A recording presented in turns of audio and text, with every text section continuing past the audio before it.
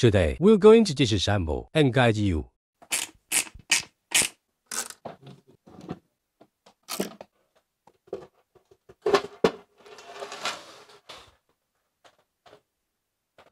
Through using these buttons, once opened, apply a little outward force. Then you can separate it. This way, it folds into stages, allowing you to store it in the trunk. This section is designed for the entire load bearing, and it might look peculiar. It's dedicated to off-roading, with a lightweight design.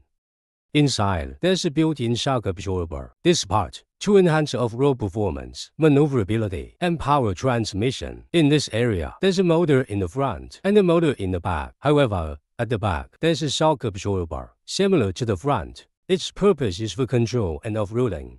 Now, what you see is the entire panel, where I place my feet. In the last video, I used both feet to step and jump, because the thickness of this pedal is very solid. It matches the thickness of our overall battery compartment, ensuring all your safety concerns.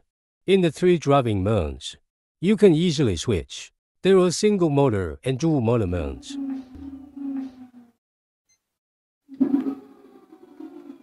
Wondering how it reaches 90 kilometers? One motor in the front, one motor in the back, and it can achieve dual control.